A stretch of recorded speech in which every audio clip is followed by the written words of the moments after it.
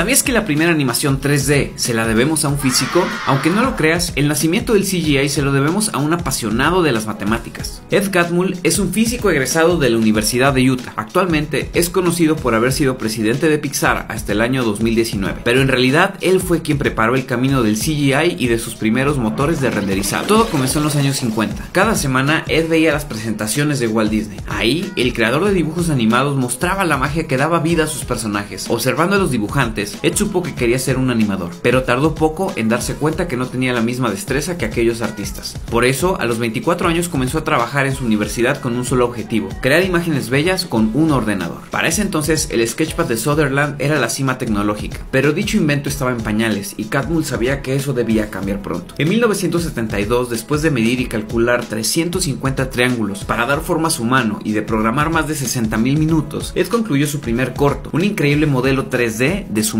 Aunque la animación era muy corta, Catmull demostró algo que jamás se había visto. Existía un espacio donde el arte no estaba limitado por el papel y el lápiz. Aquellos cuatro minutos cambiarían el mundo de los efectos visuales. Catmull abrió las puertas del alucinante mundo del 3D. Sígueme si quieres saber más sobre VFX.